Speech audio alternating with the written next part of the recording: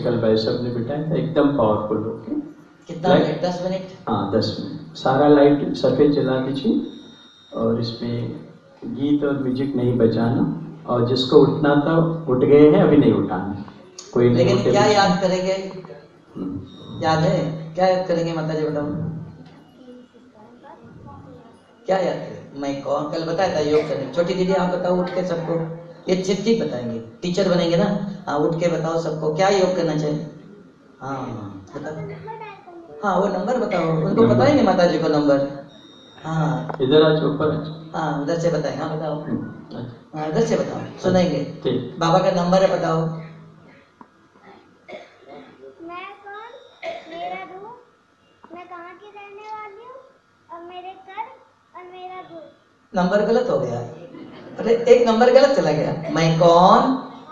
फिर मेरा रूप फिर मेरे गुण फिर मेरे कर्म फिर मैं कहाँ से आया? हाँ एक नंबर आपने गलत बोला। कि माता जी कहेंगे शिव बाबा ने फ़ोन ही नहीं उठाया। छोटी दीदी ने गलत नंबर बताया। अभी दोबारा बताओ कौन सा नंबर? मैं कौन? मैं कौन? मेरा मेरे कर मेरे गुण मेरे कर्म। मैं की रहने हाँ मेरे कर्म भूल गया। ये छोटू बताएगा, देखो। छोटू आप बताएगा ना? आप बताओ। ये होशियार है, देखो। नंबर वन आने वाला है। बताओ। हम्म। अरे, एक नंबर पहले एक नंबर लॉस्ट हो गया। और कौन छोटे बच्चे? और नहीं है। देखो हाँ ये पीछे वाले, ये बताएँगे। हाँ बताओ। ये भी टीचर बने अब जल्दी उठ के बताओ। नहीं, और कौन है? आप बता सकती हो? नहीं।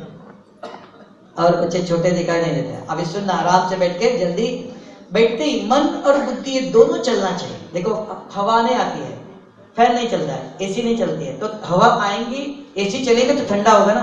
तो योगी वो है जिसका तन और मन शीतल हो। कैसे होगा वो? दो फ़ैन है। मैं कौन? मन चला। बुद्धि जवाब देती है। ये दोनों चलना चाहिए। मेरा रूप, मेरे गुण, मेरे कर्म, मैं कहाँ से आया? फिर मैं परमधाम से परमधाम में कौन है? शिव बाबा कौन है वो? पवित्रता का सागर, शांति का सागर, आनंद का सागर, ज्ञान का सागर।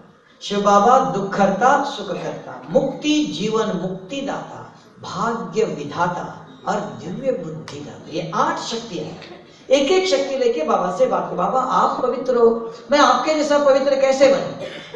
आप शांति के सागर हो। मांगना नहीं, मुझे पवित्र शक्ति दे दो। हाँ मैं कैसे शांति का सागर बनाऊँ ऐसे बात करो। ठीक है? नंबर याद रखना।